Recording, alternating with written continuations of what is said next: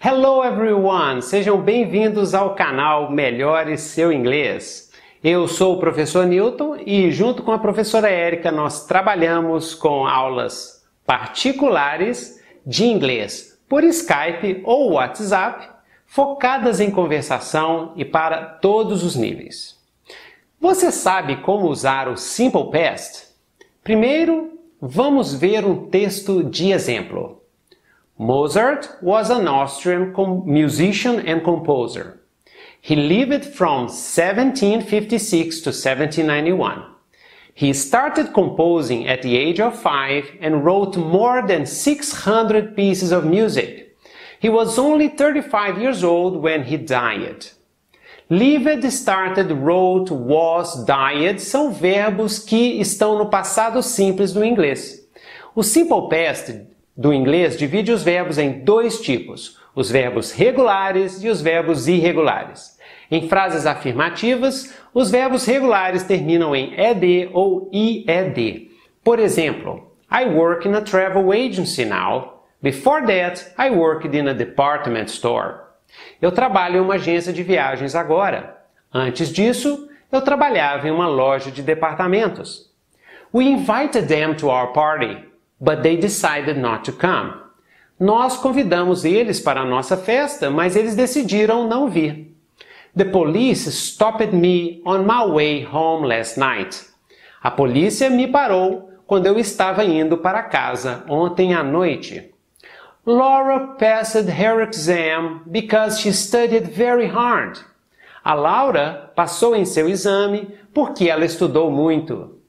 Porém, muitos verbos são irregulares e não recebem ed no final, nas frases afirmativas do passado simples. Então, por exemplo, Machado de Assis wrote many books. Machado de Assis escreveu muitos livros. Write é um verbo irregular e wrote é sua forma no passado. I went to the cinema three times last week. Eu fui ao cinema três vezes na semana passada. Go é um verbo irregular e went é sua forma no passado. Em perguntas, nós usamos o verbo auxiliar did antes do verbo no infinitivo, e em negativas, usamos didn't antes do verbo no infinitivo. Por exemplo, Did you go out last night? Yes, I went to the cinema, but I didn't enjoy the film very much.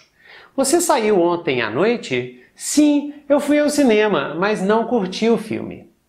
When did your mother die? About 10 years ago. Quando sua mãe morreu? Em torno de 10 anos atrás. They didn't invite us to the party, so we didn't go. Eles não nos convidaram para a festa, então nós não fomos.